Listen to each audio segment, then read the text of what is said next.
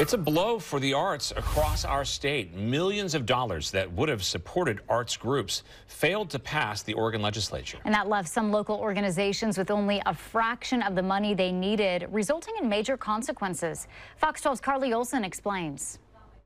This week, one of Portland's oldest professional theater companies, the Artists Repertory Theater, announced they had to fully cancel their upcoming season. This comes as their Southwest Portland building is undergoing major renovations and they were about to start rehearsals for a new play. It all comes back to Salem, where House Bill 2459 failed to pass this legislative session. And the $50 million in recovery funding that was requested resulted in only $5.6 million being allocated. What was meant to help everybody ended up getting cut up by the time it reached the leadership uh, into these little sections, uh, and very little of it passed. Jim Brunberg owns a variety of Portland venues and leads the Oregon Independent Venue Coalition, and he's seen firsthand how this loss is already impacting those he knows. Although my venues receive grants, and we're very grateful for that, we, we're very lucky.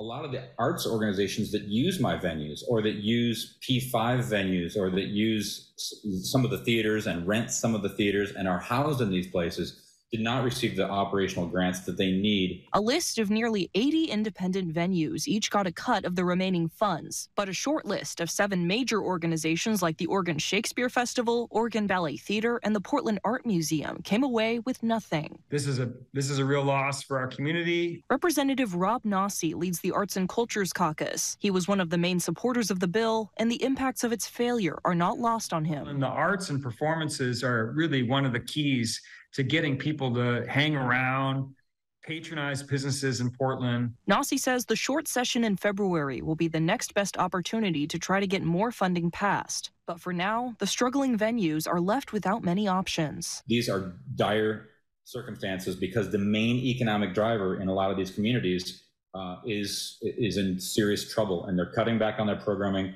Some of them are closing for the season, and some of them are talking about closing permanently. Carly Olson, Fox 12 Oregon.